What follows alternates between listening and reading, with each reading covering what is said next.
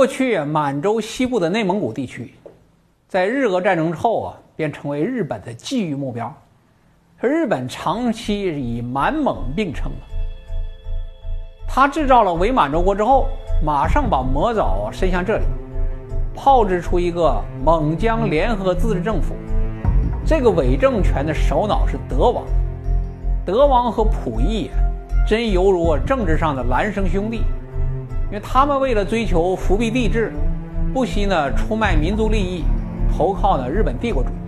在历史上一般简称为德王的内蒙古王爷德姆楚克顿普鲁，据称是成吉思汗黄金家族的传人，此人是颇有啊政治野心。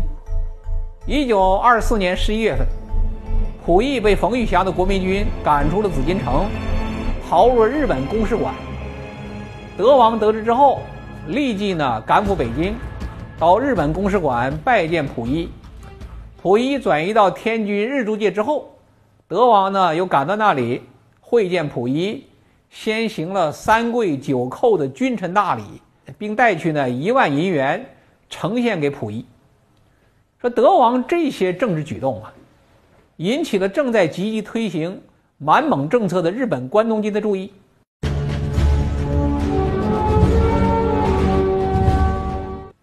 一九三二年三月，溥仪在关东军揽意之下就任伪满洲国执政。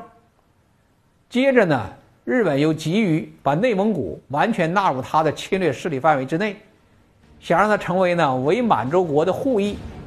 和一个缓冲地带。另外呢，他还想把内蒙古地区作为基地，进一步实现呢南北张弓这样一个企图。德王也加紧呢同日本勾结，他想成为啊蒙古帝国的皇帝。一九三三年，日本关东军侵占了热河，并将呢热河并入伪满洲国，接着就开始建立一个类似伪满洲国的蒙古国。德王就成为呢他们利用的工具。日本根据所谓满蒙计划，向德王提供武器，帮助他建立一支近万人的军队。这一年七月，德王在百灵庙联络三个蒙旗的首领，发动呢内蒙古高度自治运动。八月间呢，德王控制的蒙古地方自治政务委员会成立，他所建立的伪军由日本关东军负责训练，而且呢跟随日本军队。进攻华北。一九三四年，溥仪当上了伪满洲国的皇帝，德王呢特地穿上清朝赏给他的蟒袍马褂，戴上朝珠顶戴，在溥仪的画像前面叩拜拍照。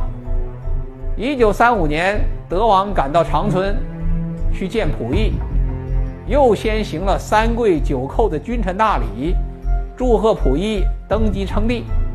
这个时候啊，伪蒙古政权刚成立，呃，力量还不足。关东军呢，就让德王依附于伪满。关东军还指示溥仪，封了德王一个武德亲王的称号。一九三六年，日本关东军又操纵德王，直接建立一个伪蒙古军政府，宣布脱离中华民国政府，成为呢日本在中国大陆上炮制的另外一个。同伪满并列的傀儡政权，伪蒙政府的施政其实由日本顾问指导，伪蒙军由日本军官训练和指挥，充当了在塞外为关东军打头阵的工具。一九三七年夏天，德王在归绥，也就是今天的呼和浩特，出任了为蒙古联盟自治政府的主席。接着呢，他又把所谓首都搬到张家口，出任了蒙疆联合委员会的委员长。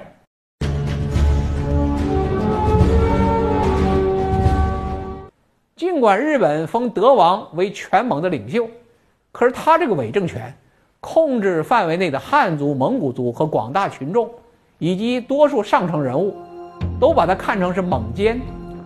在以汉族为主体的地区内，日本也采取分裂中国的所谓谋略行动。一九三五年以后，公然策划建立成为第二满洲国的华北自治政府。这个时候，中华民族啊，真正到了最危险的时候。这也迫使啊全国人民奋起，走上了抗日救亡的道路。